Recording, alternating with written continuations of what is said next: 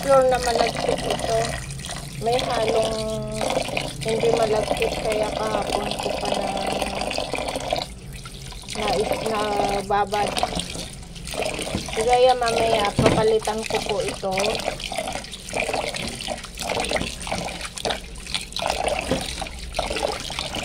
para bukas steam ko ulit bukas dahil dito sa Thailand mas magugusto, mas gusto nilang kainin ang ano steam na rice na malagkit kaysa yun sa kanin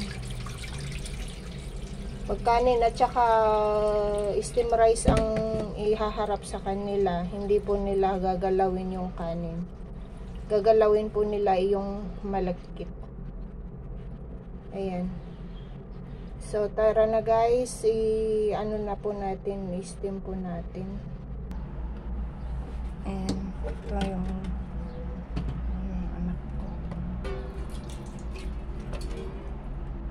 Ginagawa ko dahil wala po kami yung steaman na ano po, sa ano ng rice cooker. Dito ko po linalagay. Ayan po. Ngayon lang naman kami guys, sobrang nag-ano ng steam dahil ang daming binigay biyanang, yung biyanang ko ng lalaki na malagkit dati, karamihan yung bigas na ano, yung hindi malagkit. Eh ngayon, daming niyang naibigay na malagkit. So yun day sa ano, Dati, hindi malaki, makaramihan hindi malagkit dahil yung anak ko ayaw niya mas gusto niyang kainin yung kanin na hindi malagkit. Hindi steam. Ito po.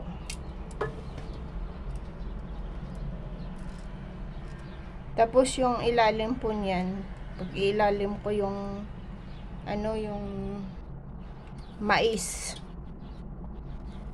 Para hindi po ano yung kanin. Ay yung oo yung malakit kasi may nag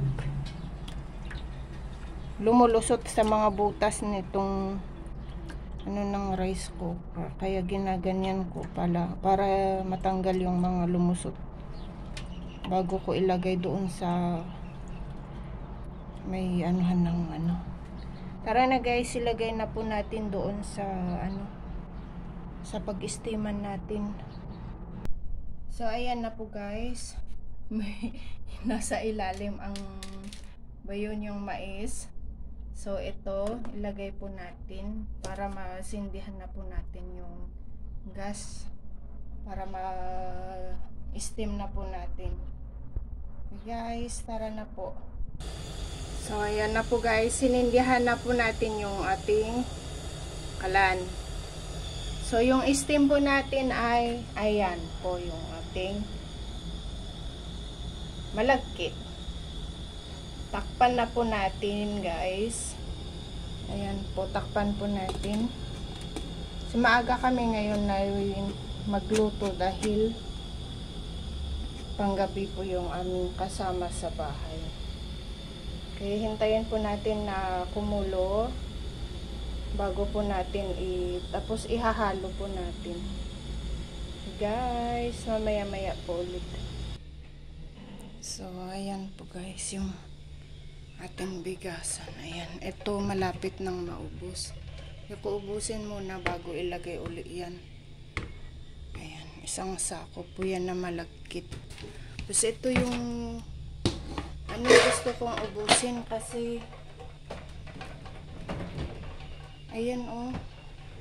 May hindi po pure na malagkit yan yung nailagay natin kanina.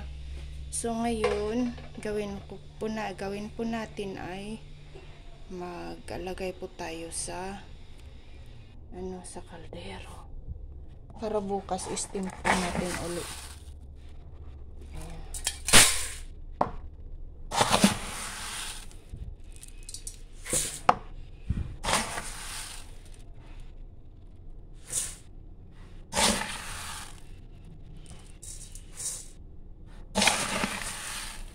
Ayan, dinadamihan ko kasi minsan sa umaga kaya sa tanghali ng ano na, na ah, ano ba yun? Nadadamihan namin ang kain. Ayan. So, ayan ano po natin doon? Sarado natin yung ilaw. Ayan. Kasi pagka hindi po natin ibababad yung bigas yung hindi malagkit ay mahirap pong ma-steam yung ginagawa ko po binababad ko yung pero pagka yung sa pure na malagkit pwede pong ibabad sa ano sa umaga. Tapos i-steam na lang po sa hapon. Ganun hindi ko na linisan kasi may mga itim-itim yung napasama sa, sa palay ayan para bukas steam ko muli ng mga ganitong oras po. Sa hapon. Ganyan po ang ginagawa ko.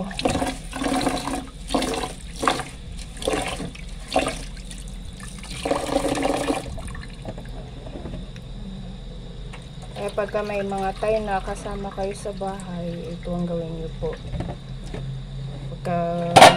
Dahil mas pipiliin po nilang kainin ang malagkit kaysa sa yung kanin.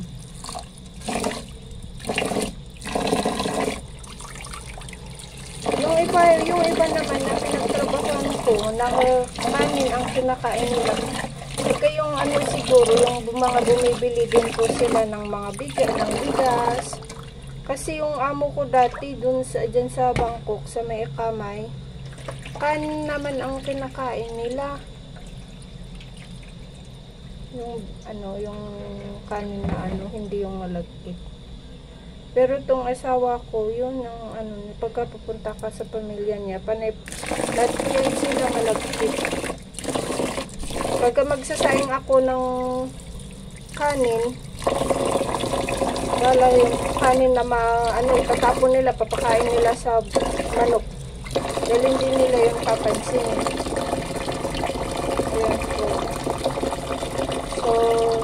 sabi po natin yan, hanggang bukas na ganitong oras po ay i-steam po natin. Ito yan ang, ang magiging kanin po namin sa, ano, yung kagaya nun po yung ni-steam natin kanina.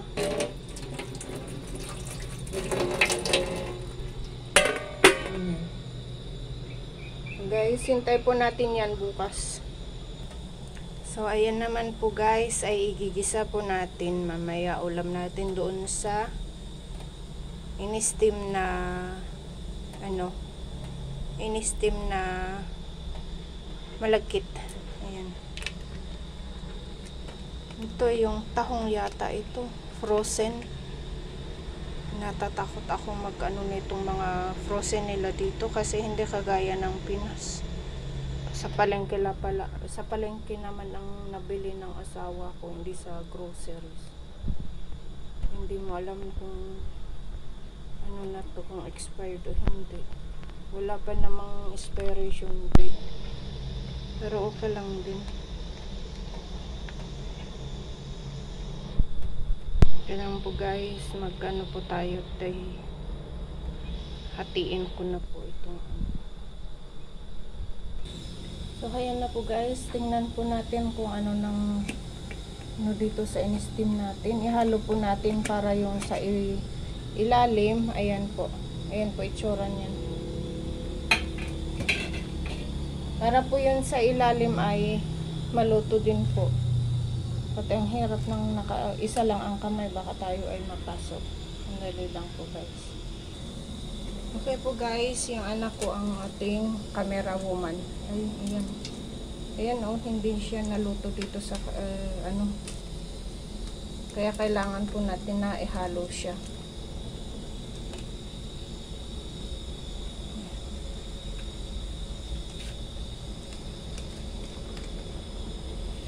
hindi pa gaano luto. Kailangan ano pa niya yung kailangan pa niya ang ano. Hirap kasi yung hindi may ano yung paray, yung ginagawa nilang para siyang yun sa kawayan. Eh, It's hard to steam here. Yun sa kawayan, may ano yan sila para steam talaga. Sa amin kasi, sa ngayon lang kami para laging nag, ano, nang kumakain ng steam rice dahil nga marami siyang binigay na yung yung malagkit na yan. Tapos kukunti lang yung hindi malagkit. Yung dun sa baba ay yung ano natin, yung ano ba yun? Yung mais. Ayan po. Luto na yata yung mais. Ayan, ano siya dyan. Luto na yung mais. Maraming salamat po guys sa pag ano niyo po ng ating steam rice. Kaya po ipakita ko po uli sa inyo kung paano yung luto na. So ayan na po yung ating tahong ni Carla. Ay este, tahong na lulutuin natin mamaya. Ayan. Tapos may parang masarap ihalo sa ano sa ano ba yung gulay. Alam guys, tingnan natin kung anong gulay sa ihapaghaluan natin doon sa ating ref. Ayan po yung ating ref. Tingnan po natin kung ano ang pwede nating ihalo doon. Ito na yata. Ito yung ano yung asawa ko sabi niya na para siyang kinakabagan lagi pero bumili naman siya ng yung yung tahong tapos ito pampakabag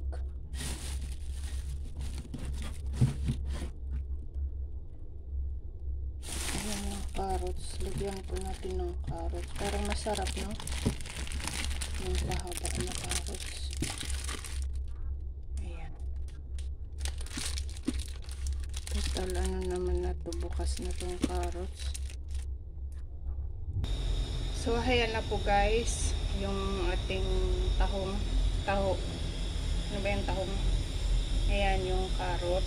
Ito naman din po yung sibuyas at yung bawang ay andyan pa po dahil ang unahin ko po ay yung sibuyas bago yung bawang pagka nag brown na po yung sibuyas at ito naman po yung tawagin na ihahalo ko din po doon. At ayan na po guys yung ating mais na wala na po ng tubig. Tanggalin na po natin yung kanin ando doon na po sa lamesa. So ayan na po. Open. Ayan. And, eh, hindi na kahit hindi na eh, natin ihalo. Ayan. Ayan na po. So go guys, kain na po yung mga gustong kumain ng steam rice. So ngayon, ito po yung ating ano, mais. Okay, bye. Malam, maraming salamat po guys sa panonood. Bye bye.